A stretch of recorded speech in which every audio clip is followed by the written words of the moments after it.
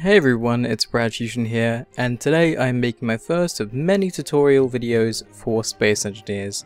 In this episode I will cover the basics of the main menu, how the workshop integration works, and the different types of worlds you can create and basic movement controls. So if you like this video, please let me know and subscribe if you already haven't done so. So first off I'm going to show you New World, which allows you to create either Quick Start, which loads from the Easy Start 1 world, or Custom World, which allows you to choose from Easy Start 1 Easy Start 2, Survival, and Empty World. Now, I honestly prefer Easy Start 1 and the Empty World because Empty World is the easiest to load on a low-end PC, and Easy Start 1 because it has a few asteroids and other than that it's pretty much empty. Easy Start 2 I would avoid because it does have a station which does uh, take up a lot of memory so I wouldn't really go with that one. When creating a world you're also given the option to autosave. Now I don't I don't really use this because it gets annoying with it popping up every 5 minutes and if I'm doing something that's risky I prefer to save it just before I do whatever I'm doing and if it fails then I can just go back to my save without worrying about autosave, butting in and ruining everything. So once you've created your world, you played around it a bit, you saved it from the main menu, you load it in through the load world option. Now this shows all the worlds you've created in order of which you've last played them. So the last world I played was the rail system world and you can rename these through edit settings. Also allows you to toggle autosave on or off if you've accidentally left it on or off previously. You can also save as, which allows you to just rename it as well, and delete a world.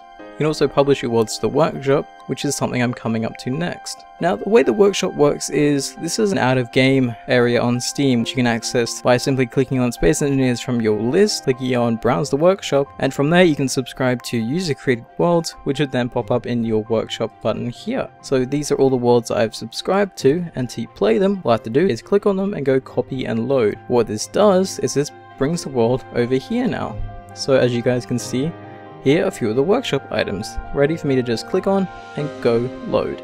So now we'll move over to basic in-game movement controls.